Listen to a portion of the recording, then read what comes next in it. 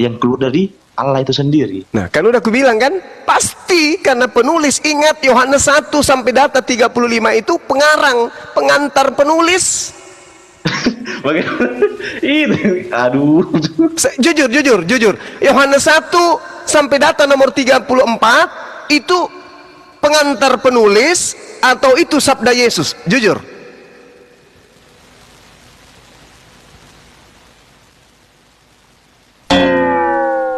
Gini Pak, sebelum Tuhan Yesus lahir, Nah, itu kan? Eh, Nah, doktrin dogma kan? Doktrin dogma yang Anda sajikan padahal kita mencoba untuk dialog ilmiah. Pertanyaan saya sederhana, pada mulanya adalah firman. Firman itu bersama-sama dengan teos. Firman itu adalah teos. Ujung-ujungnya firman itu menjadi manusia. Ini sabda Yesus kah?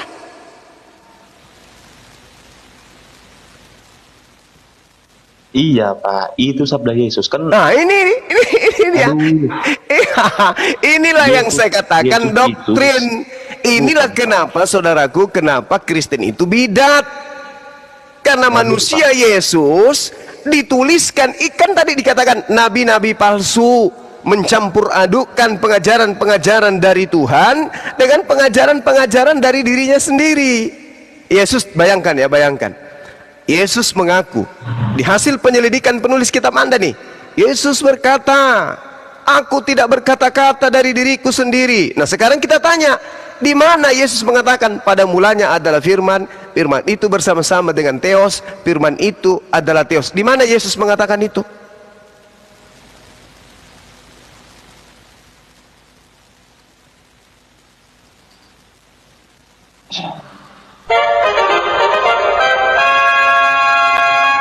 Pak ya.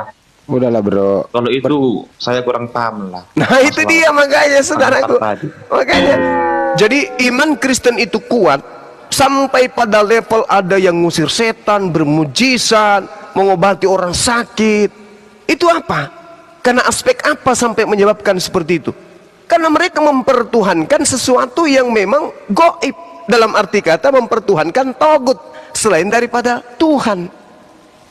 Jadi Coba gini, Pak. eh, gimana? Ah, mengapa para penulis Alkitab itu me- mengatakan Yesus Kristus adalah Tuhan? Karena me- mereka semua menyaksikan kebangkitannya. Jikalau memang Tuhan Yesus Oh, salah. nabi toh, Salah itu saudaraku salah. Pak. Salah salah salah. Coba Anda tunjukkan siapa manusia yang menyaksikan Yesus bangkit dari kubur. Gak ada. Markus 5 Markus 14 nomor 50 semua murid lari meninggalkan Yesus nggak ada yang menyaksikan dia bangkit malah kalau anda lihat di dalam Lukas 24 nomor 37 Ketika Yesus muncul setelah berita penyaliban penangkapan, Yesus muncul di tengah-tengah mereka. Apa yang mereka apa yang terjadi? Mereka ketakutan sebab mengira melihat hantu. Yesus muncul, kok dikira hantu? Namanya manusia, Pak. Bagaimana Bapak ini? Lah, sekarang begini.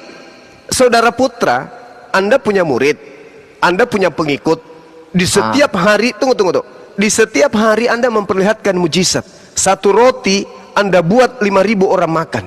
Anggur air Anda buat jadi anggur. Apalagi orang mati Anda bangkitkan.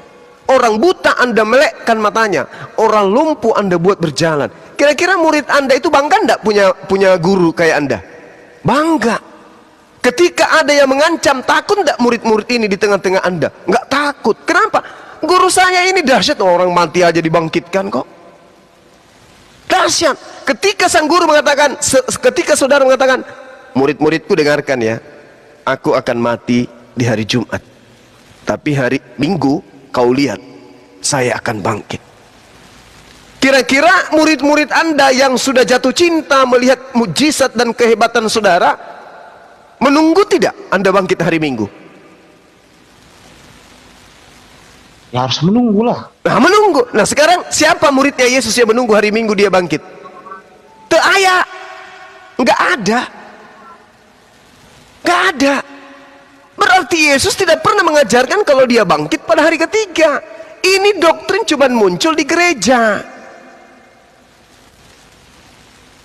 Kalau ada orang bangkit di hari ketiga di Bani Israel abad pertama, maka Yudaism lah yang mengajarkan Yesus itu bangkit dari kematian. Faktanya yang mengajarkan Belanda, Portugis, Roma, Yunani. Kenapa bukan Yahudi sebagai tuan rumah yang ada di TKP? Jadi gini lah Pak, Pak Jumadu. Nah, gimana gimana? Gimana? Coba. Aku Kenapa bu, kenapa bukan murid Anda yang menceritakan? Kenapa justru orang yang di Papua yang menceritakan tentang putra bangkit pada hari ketiga? Sementara murid-muridnya di tempat Anda, murid Anda, nggak ada yang menceritakan itu. Kosong. Berarti surat kabar yang menceritakan cerita Anda bangkit itu surat kabar robek. Gak jelas wartawannya. Coba Ini, Anda Pak, ya. pikirkan. Iya, silakan. Ini kita patokannya Alkitab ya Pak ya. Hmm.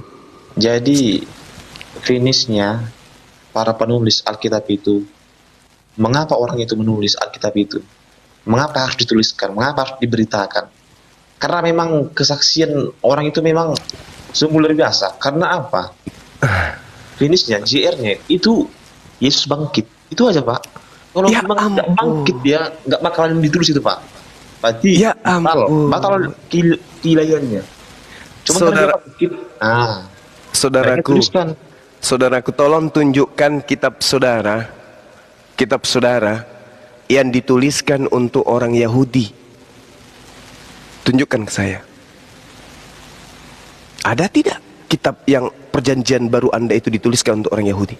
Ada enggak? Kitab Anda itu ditulis untuk orang Romawi, untuk orang Yahudi, untuk orang Yunani dan Romawi. Kalaupun ada yang dikasih kitab itu, itu adalah orang-orang yang Yahudi yang sudah jauh dan lama tinggal bermukim di tengah-tengah orang-orang Romawi Yunani. Tidak ada kitab saudara perjanjian baru itu dituliskan untuk orang Yahudi nggak ada. Itu dituliskan untuk Roma dan Yunani. Kenapa dituliskan kepada mereka? Karena konsep dewa matahari sembahan nenek moyang Romawi dan Yunani itu nuzul menjadi manusia Zeus atau Horus menjadi dewa mereka. Makanya ada peringatan tanggal 25 Desember itu adalah tanggal kelahiran daripada dewa matahari. Itu perayaan Roma. Kenapa diajarkan tentang kebangkitan, tentang ini? Karena itu mau dijual dan dijajakan kepada Romawi dan Yunani. Diterima nggak mereka? Terima. Langsung disahkan menjadi agama kekerajaan. Kristen itu jadikan sebagai agama resmi. Kenapa? Ajaran kitabnya berkesesuaian dengan ajaran nenek moyang mereka. Makanya babi dihalalkan. Apalagi Taurat dibatalkan. Apalagi sunat dibatalkan. Karena Roma pecinta babi. Roma adalah bangsa yang tidak bersunat. Kalau ajaran itu di dalamnya, kalian harus tetap bersunat. Kalian jangan makan babi. Mana mau Romawi menerima ajaran itu? Tidak mau. Makanya tidak ada surat-surat Paulus itu dituliskan untuk orang yang ada di tempat lingkungan para rabi-rabi Yahudi. Nggak ada. Hanya Yahudi-Yahudi yang uh, hidup terpencil di sana. Di pemukiman yang sudah tidak ada di peta. Itu. Tolong anda pikirkan itu. Sekarang di Indonesia aja dulu. Ada nggak orang Yahudi datang berbondong-bondong penginjilan? Dari sinagoge, dari Timur Ratapan, datang ke Indonesia mengajarkan penginjilan dengan menggunakan Taurat, masuk ke gereja, mengajarkan nyembah Yesus. Ada nggak? Nggak ada.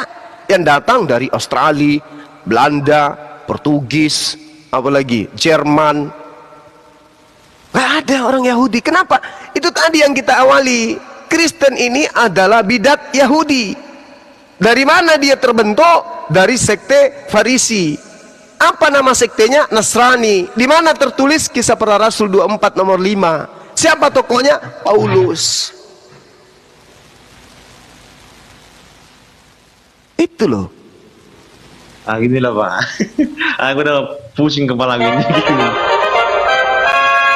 Aku bukan memang ahlinya itu Pak ya serius. Ini lagi pusing kerja aku jadi batal kerja gue ini. Ter- Terganggu. Jangan, jangan sampai batal kerja. Nggak, maksudnya gini loh bang. Eh, keberadaan dialog ini itu bukan kemudian untuk mencari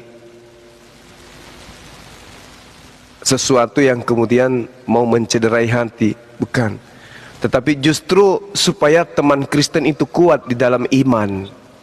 Maksudnya apa? Beriman supaya imannya kuat harus ditopang oleh pondasi ilmu. Jangan cuma beriman toh. Ah Yesus itu kan Tuhan, dia kan begini. Coba kelilingi iman itu, bungkus iman itu dengan ilmu. Benar enggak Yesus itu begitu? Apa tolak ukurnya? Belajar. Oh Yesus Tuhan, karena dia luar biasa, dia membangkitkan. Cobalah belajar. Kenapa Yesus bisa membangkitkan orang mati? Kenapa Yesus ini begini, begini dan begitu? Apa sebabnya Yesus begini? Pelajarin. Oh ternyata dia bisa kayak begitu karena dia adalah utusan Tuhan yang sangat disayang oleh Tuhan sehingga Tuhan melakukan apa pun yang dia minta. Andai saja Yesus pada masa itu Tuhan Bapa yang ada di surga. Aku pengen matahari ini terbit dari barat, terbenam di selatan. Maka Tuhan pun akan melakukan itu.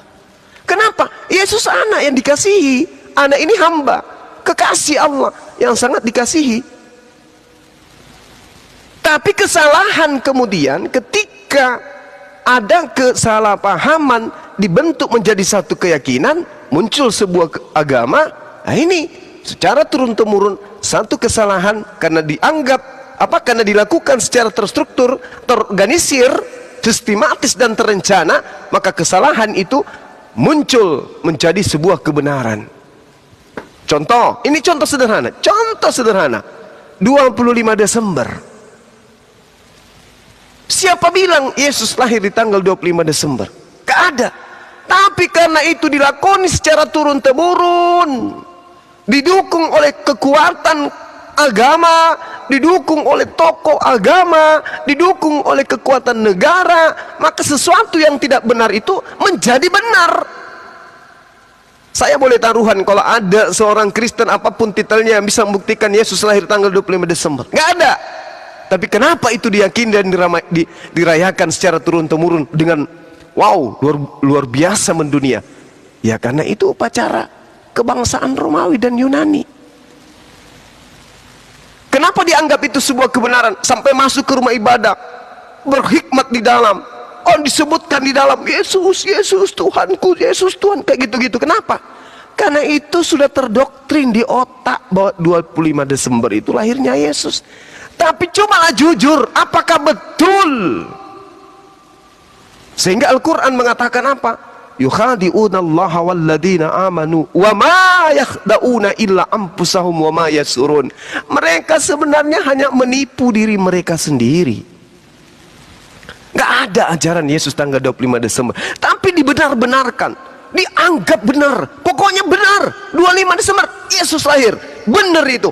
Gak ada keraguan di dalamnya. Apa dasarnya? Imani aja. Nipu diri sendiri. Nah, itulah yang menjadi dasar pijakan dialog kita bahwasanya ya iman itu harus bertumbuh. Ketika kemudian kami mendengarkan Yesus adalah Tuhan, berlomba-lomba kami mencari Bible. Mana dasar pijakannya ya? Kok bisa ya? Yesus di sisi lain dia mengatakan, aku tidak dapat berbuat apa-apa dari diriku sendiri. Kok bisa jadi Tuhan? Di mana? Kita cari tidak ada data validnya. Rupa-rupanya itu hanya doktrin mengambil kitabnya orang Yahudi mengatakan itu ada nubuatan tapi yang punya kitab tidak pernah mengaminkan. Nah itulah saudara putra. Jadi harapan kita saudara cobalah beriman dengan didasari ilmu. Jangan cuma beriman buta jangan hanya imani saja. Benarkah Yesus ini adalah Tuhan pencipta dan bumi? Kok kami sembah? Cari Mumpung masih ada kesempatan. Silakan. Gitu loh Pak, ambillah. Kalau dulu berpikir dulu ini pusing ini. Jangan pusing bang. Jangan kita, pusing bang. Kita diberi akal oleh pencipta kita untuk kita pakai mencari kebenaran itu. Orang buta mata, dia bisa pulang ke rumahnya hanya dengan menggunakan insting dan tongkat kita punya mata, kita punya akal. Hewan tidak punya akal. Ketika dia keluar kandang, dia tahu caranya pulang. Kita dari Allah, kita dari Tuhan. Masa kita tidak bisa cari tahu caranya kembali kepada Tuhan? Kita punya akal, Kita dikasih kesempatan untuk itu. Jadi jangan pusing. Jangan pusing. Pelajari Bible dengan baik-baik. Tekun belajar Bible. Tekun pelajari dengan baik. Tapi dengan apa? Akal. Tuhan menitipkan akal. Nah ini, saya kasih kamu akal, ini buku panduan. Kalau buku panduan palsu yang kamu pakai untuk menjalankan mesin, percaya mesinmu meledak, atau kepalamu yang akan meledak, atau rumahmu yang akan meledak, atau pabrikmu yang akan meledak. Tapi aku berikan akal, aku kasih kamu buku panduan. Kalau buku panduanmu ini benar, maka kamu akan bisa mengoperasikan mesin itu dengan baik. Produksi dan produk yang muncul keluar dari pabrikmu itu akan besar, dan membahagiakan kamu. Hasilnya jannah surga. Tapi kalau pabrik kamu ada mesin, kamu pakai buku panduan yang palsu yang harusnya menggunakan bensin, kau pakai minyak kelapa udah selesai tunggu kehancuran. Mumpung masih sehat, masih muda, ambil Bible, pelajari dengan baik. Insya Allah ketemu dengan kebenaran. Silakan. Itulah bang ya. Nantilah diapakan lain dipikirkan dulu. Aduh. Pusing dia. Iya, oke. Okay. Silakan Saudara Putra. Nanti rajin-rajin ke tempat kita untuk diskusi. Kami siap 24 jam mau tanya tentang Quran, mau tanya tentang Bible, kita sama-sama sharing. Oke? Okay? Oke, okay, oke. Okay, thank you, thank you Saudara Putra. Tahu dulu, Putra. Putra. Ya, Bang. Ini singkat ya. Itu Yesus itu anaknya Bunda Maria. Dia dilahirkan, dia dirawat mulai kecil. Dia punya fisik sama seperti kita. Saat-saat dia mulai dewasa, akalnya berfungsi seperti kita, dikasih kelebihan oleh Tuhan, diberi dia ilmu firman untuk mengajarkan kepada orang bahwa kau jangan menuhankan diriku dan Jangan menuhankan yang lain kecuali yang mengutus aku. Itu ajaran utamanya Yesus. Nah kalau kau pakai akalmu sedikit aja terbuka sesuai arahan Banjuma, saya yakin mulai detik ini kau nggak akan pernah menuhankan anak manusia itu. Karena anak manusia itu sepakat tadi bertuhan dia. Nah kalau kau untuk sementara mengikuti Yesus, sama-samalah menuhankan Tuhannya Yesus. Sederhana ini. Ini masuk akal atau tidak ini Putra? Iya, iya, iya. Iya. iya. Nggak masuk akal atau tidak nih? Masuk akal juga sih. Nah, kalau masuk akal, ya akalnya dipakai gitu loh.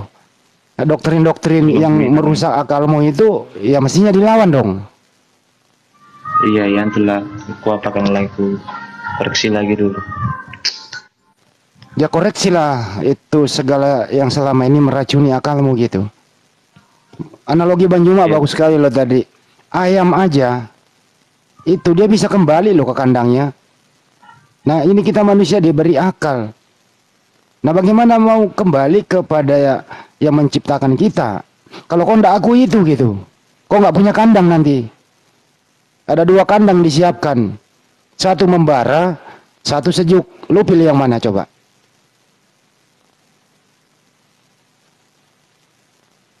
Bilangnya Mana aku bilang aduh Ya Yesus berkata ya, dalam ya Yesus berkata gini, aku aku jalan kebenaran dan hidup, tidak ada satu sampai pun ke rumah Bapak kalau tidak melalui aku. Artinya melalui aku itu bagaimana waktu Yesus ngajar, dia ajarin apa sih? Pernah nggak Yesus ngajarin aku ini Tuhan loh? Enggak toh? Itu sih kira-kira. Ya, jangan sampai mm, jangan sampai lu kalah sama orang mohon maaf ya yang tunanetra lo ya. Jangan sampai kalah gitu. Ya. itulah bang mau kerja dulu ini ya. Ah, kenapa? Mau kerja dulu ini mau kerja dulu bang mau lanjut kerja dulu ya. Ya tapi ini kita nggak maksa loh ya tugas kami sudah menyampaikan. Apalagi Banyuma udah iya, berbusa itu Ya hormatilah orang yang berbusa mulutnya itu loh. Ini bukan main-main. Ini masalah hidup dan mati loh. Iya iya betul juga sih. Ya. Bang Juma ada yang terakhir Bang Juma?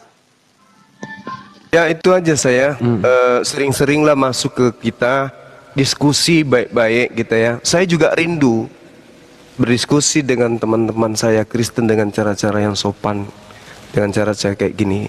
Jadi yang kita uh, kedepankan itu adalah belajar, bukan saling memaki tapi belajar. Oke? Okay?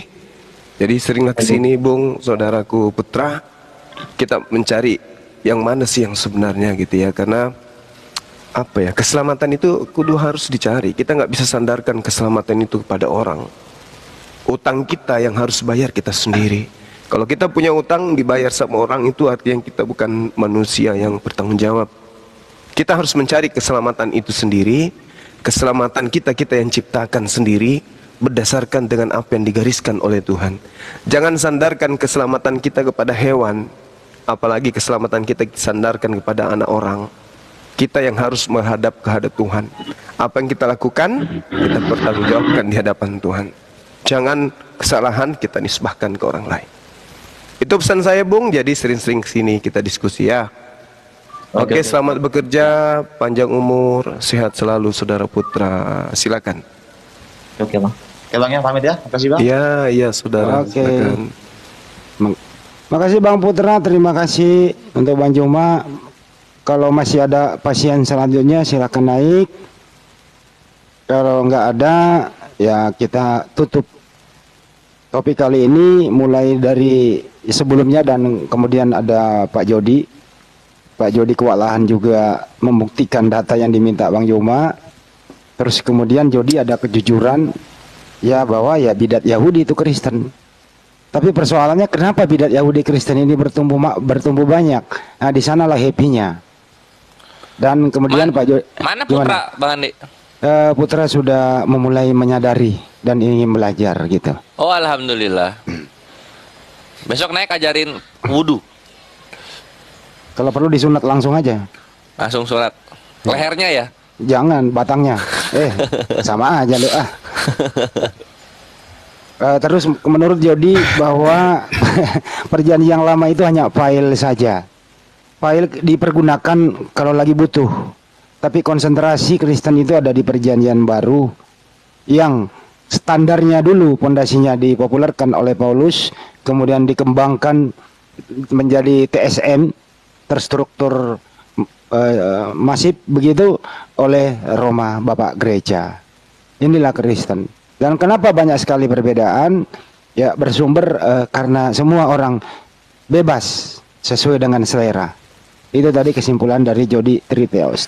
Triteos itu apa? Tiga Tuhan. Bukan tiga tapi satu. Nah di sinilah nih, Bang. Andi. Ya, Bang Andi ada yang naik nih. Dikit. Nah ini D tiga tiga W empat. Sedikit yang nambah ya sedikit. Iya silakan Bunda. Ya. Secara secara kuantitas mungkin mereka banyak ya, Saudara. Tapi secara kualitas kita unggul. Ya, kita unggul secara kualitas. Banyak uh, jumlah mereka banyak, tapi coba tengok Bunda Rahma unggulnya sudrajat nggak? Berapa biji? Itu mau Ustaz unggul. Hah? Oh.